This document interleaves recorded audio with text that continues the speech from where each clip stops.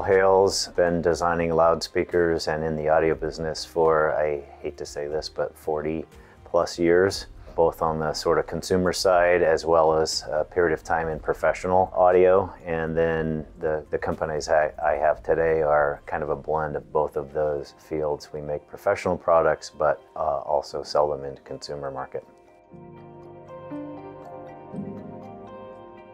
Our product is a little different. First of all, from the very inception of the brand back in 2004, the speakers were always built to the commercial cinema specification.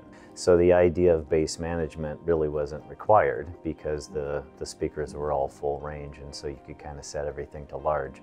Now with the advent of Dolby Atmos, that's changed a little bit because now we have speakers everywhere, including on the ceiling, and those tend to be smaller usually uh, even in the big systems, they tend to be smaller and some bass management is required. And so the matrix bass management feature is something that we utilize all the time. And we also have bass management in our loudspeaker controllers. And so the immersion gets really good when it's full range, right? When you're not redirecting bass just to the front wall, for example, but the bass is coming from where the surround information is, it really enhances the realism of the envelopment. And so between the sort of matrix capability of the Altitude 32 and what we can do in our loudspeaker controllers, we get a very, very powerful, realistic, three-dimensional sound field all around you. This facility, which uh, we've been here in this space for about nine years, I think, initially on that half, and we expanded into this section that we're sitting in right now uh, over the last couple years. Uh, there's about 8,000 square feet all the products, both for theory and pro audio technology, are represented in here.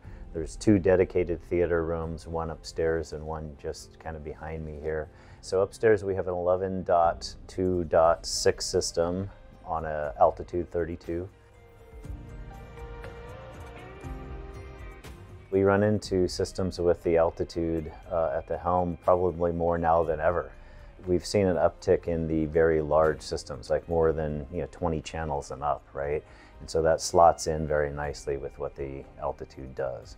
And it's great for us because we sell more speakers, of course, um, but we're putting in some very, very large systems, and most of them have the altitude in it. Yeah, we recommend the altitude quite frequently, actually. And anytime the channel count gets above 16, it's kind of a go-to piece for us. Uh, the capability, the channel count, the integration with DCI rooms, which we encounter a lot now, it all makes it a very good choice for that kind of a system.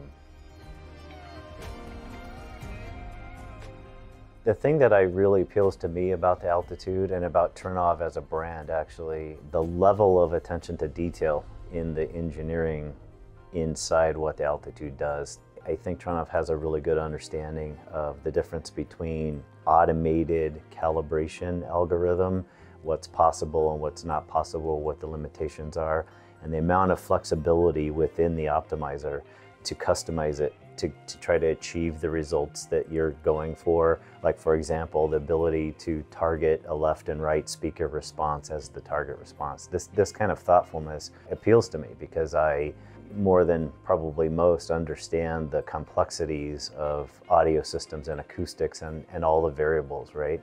And deploying these things is is complex and it's not a perfect science. And I think as sophisticated as the engineering is in the Trinnov processor, but there's also an acknowledgement to the challenges that you encounter when you go into a, a, complex room with a bunch of speakers and an unknown acoustic, and sometimes the acoustics are challenging. It's a really powerful tool.